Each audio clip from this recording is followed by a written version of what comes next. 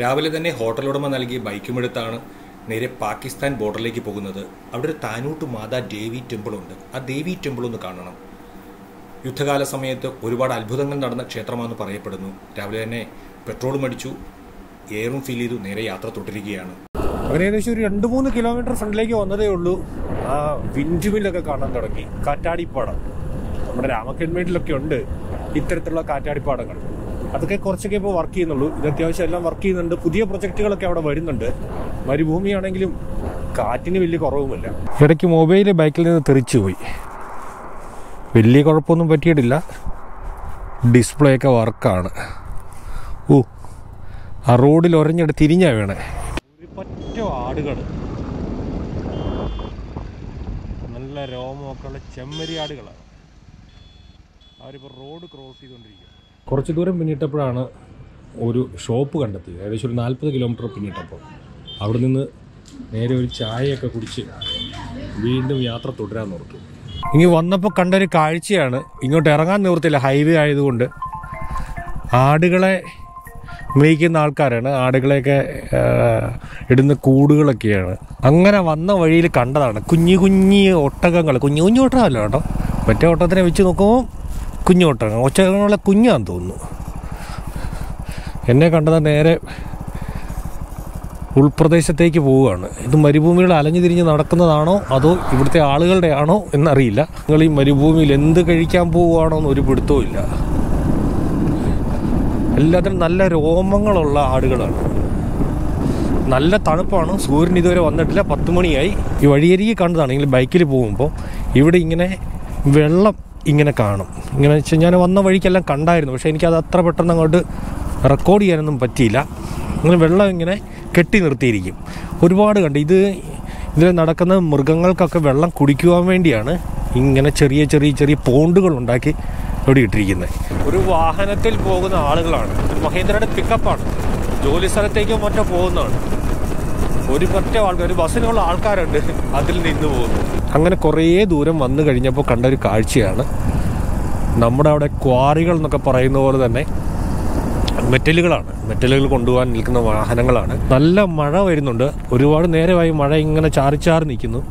അപ്പം അത്യാവശ്യം കുറച്ച് സമയം ഒന്ന് റെസ്റ്റ് ചെയ്യണം. ഈ- കുറേ ദൂരം ഓടിയപ്പോഴാണ് റെസ്റ്റോറന്റ് കിട്ടിയത്. റെസ്റ്റോറന്റ് അല്ല ചായക്കട. ഇവിടെ നിന്നൊരു ചായയൊക്കെ കുടിച്ചിട്ട് ഇനി യാത്ര തുടരാം. ചില പുകയൊക്കെ ഉയരുന്നുണ്ട്. അവർ താമസിക്കുന്ന സ്ഥലങ്ങളാണ്. ആ വീടുകളൊക്കെ കണ്ടോ? അതുകൊണ്ടോ കണ്ടോ? വെള്ളം നനച്ചു കൊടുക്കുന്നത് കണ്ടോ? സ്പ്രിങ്ക്ലർ വെച്ച് കൃഷി സ്ഥലങ്ങൾ നനയ്ക്കുന്ന ഒരു രീതിയാണ്. പുല്ലുമായിട്ട് പോകുന്ന ഒരു ട്രാക്ടറാണ്. അല്ലോ പുല്ലല്ല. കടുകാണ്. ഈ ഭൂമിയിൽ കഴുതകൾ.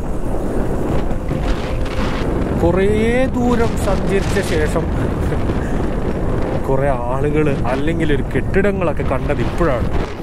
അത് മരുഭൂമി എന്നൊക്കെ പറയുന്നത് ഇതാണ് മരുഭൂമി. കണ്ടോളൂ. കുറേ ജീപ്പുകൾ നമുക്ക് കാണാം. ഈ ജീപ്പുകളെല്ലാം മരുഭൂമിയിലേക്ക് ആളുകളെയും കൊണ്ട് പോകുന്നതാണ്. അതായത് സഫാരി. ജീപ്പ് സഫാരിയാണ്. അങ്ങനെ നമ്മൾ പാകിസ്ഥാൻ അടുത്തെത്തിയിരിക്കുന്നു താനൂട്ട്.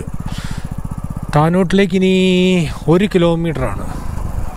ഒരു കിലോമീറ്റർ എത്തിക്കഴിഞ്ഞാൽ താനൂട് മാതാ ടെമ്പിളിലെത്തി. താനൂട് മാതാ ടെമ്പിൾ നമ്മൾ യുദ്ധകാല സമയത്ത് അതായത് ഇന്ദിരാഗാന്ധിയുടെ ഭരണസമയം എഴുപത്തൊന്ന് സമയത്ത് പാകിസ്ഥാനോട് യുദ്ധം യുദ്ധം ഉണ്ടായ സമയം. അവിടെ മിസൈലൊക്കെ വർഷിച്ച സ്ഥലമാണ്. അങ്ങോട്ടാണ് നമ്മൾ പോകുന്നത്. ഒരു വീടുകൾ കണ്ടോ? ഒരു സൺഷെയ്ഡുകളോ കാര്യങ്ങളോ ഒന്നുമില്ലാത്ത വീടുകളാണ്. കാരണം ഇവിടെ മഴയില്ല. അതുകൊണ്ട് തന്നെ സൺഷെയ്ഡിന്റെ ഒന്നും ആവശ്യമില്ല. ആ വീടുകളൊക്കെ കണ്ടു. അവിടെയൊക്കെ താമസമുള്ള വീടുകളാണ്. പോലീസുണ്ട് പോലീസ് ചെക്കിങ്ങും കാര്യങ്ങളൊക്കെ ഉണ്ട്.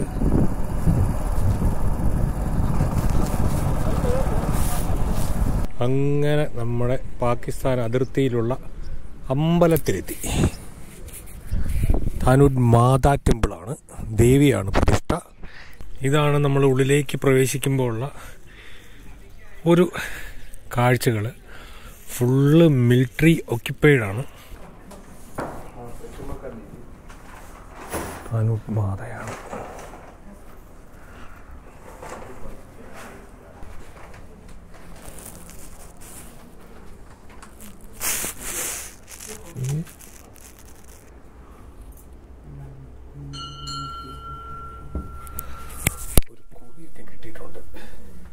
ഇത് നേർച്ചകളാണ്. നേർച്ചകളൊക്കെ ഇങ്ങനെ കെട്ടിത്തൂക്കിയിട്ടിരിക്കുകയാണ് അമ്പലമായത് തന്നെ ഒരുപാട് ഒറ്റയ്ക്കൊന്നും പറയാൻ പറ്റത്തില്ല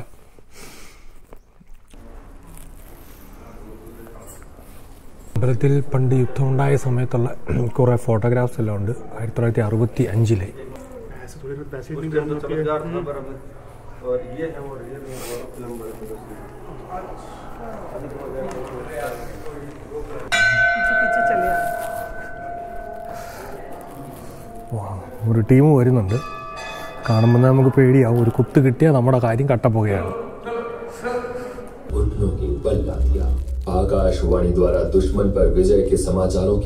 അമ്പലത്തിന്റെ പരിസരത്ത് ഓഡിയോ വിഷ്വൽ റൂമുണ്ട് അവിടെ നമുക്ക് യുദ്ധം നടന്ന സമയത്തുള്ള കാര്യങ്ങളൊക്കെ കാണിച്ചു തരും. സിക്സ്റ്റി ഫൈവിലെ വലിയ അത്ഭുതങ്ങൾ ഈ ദേവിയായിട്ട് ബന്ധപ്പെട്ട് നടന്നിട്ടുണ്ടെന്ന് കേൾക്കുന്നു. അതിന്റെ ചരിത്രങ്ങളൊക്കെയാണ് ഇവിടെ ടി വിയിലൊക്കെ നമ്മളെ കാണിക്കുന്നത്.